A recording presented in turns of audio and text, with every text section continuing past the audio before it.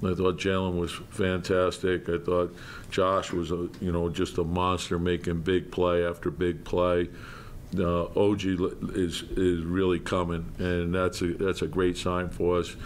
Um, you know, Donte was, was Donte, and I thought Bogey gave us really good minutes as well. That, that end seems to be sticking with you. Was there a thought to bring Jalen back in there?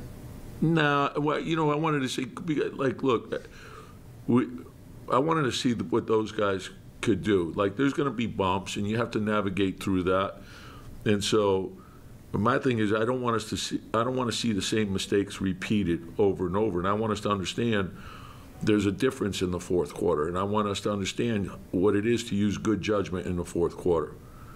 And so those are things you evaluate because those you're determining your rotation based on those things.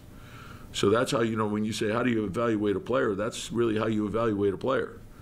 It's how do you function within the group, and then do you understand? Can you you know what's going on in the game?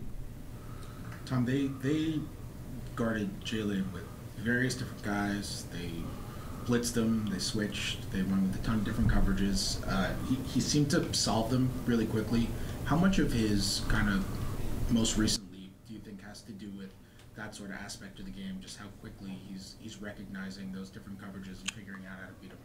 Well, I think it's it's a credit to him and his teammates because they all have to be connected. I think when you're when you're a primary player like that, everyone has to understand, and you have to be working at his pace too, because the the double teams are coming fast and if you're if one guy's not in the right spot, you can't take advantage of it. And we can get great offense off them putting two on the ball, and then there's things we can do to create good shots for him as well. And I think we're doing that. So it's everyone working together, and that's really how you evaluate your team. You want your team working together. It's a, you know if, if his teammates aren't doing what they need to do, then he's not going to be able to do what he does. And everyone playing to their strengths, that's a that's a big part of winning. What, what do you mean? What do you mean by you have to play at his pace? Well, so anytime you're you're being double teamed, right? Those decisions have to be made quickly. So you have to be thinking ahead as well. So if you're if you're a step behind, he's not going to be able to get the ball out right? So you got to be there so he's got his outlet so he can get the play. And then we got to make sure where he continues to move so we can get the ball back to him against the spread defense where they're not set and we can take advantage of it that way. Then we got to recognize, okay, what's going on in the game? So they were moving Porzingis around. We have to recognize that as as a team, right? Who's he guarding? Okay, how do we get him into the action?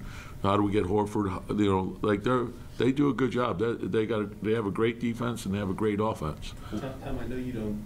I'm going to try anyway. You don't. Like no, I don't. doing comparables, but this stretch for or hypotheticals. Hypotheticals. Yeah. um, this stretch for Jalen. I mean, you coached Derrick Rose's MVP here. You coached Paul Pierce. You coached Tracy McGrady.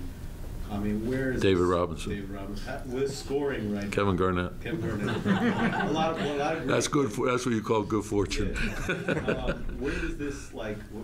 Have you seen this type of scoring? It's just it's you know, in in, in the funny thing is, I mean, it's not funny because it's a it's a it's a tribute to the, to the way he works and who he is as a player because, like, we're seeing it now but we don't see the years of work that he put into this, you know, and that's that's what I think makes it like for me, like watching him grow up and see all the work that he's put into the game and to hear like naysayers doubt him and everyone's got naysayers. That's that's part of sports, you know. But to, for him to continue to prove everyone wrong, and the best thing is he thinks he can get better, and he will because of it's his mindset.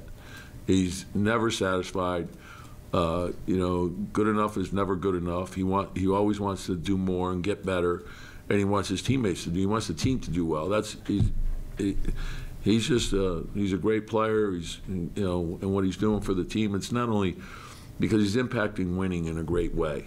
You know, so.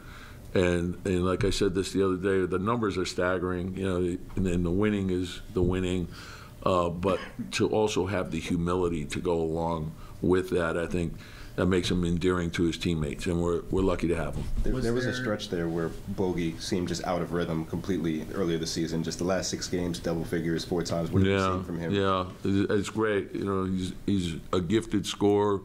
I think his teammates are start, starting to recognize how to get him shots. Uh, and he's making really good reads. So he's he's playing well, and that's that's given us a big boost. The bench lineup you've been going to last few games, one with like Bogey and kind of Ford four defenders. It's it's it's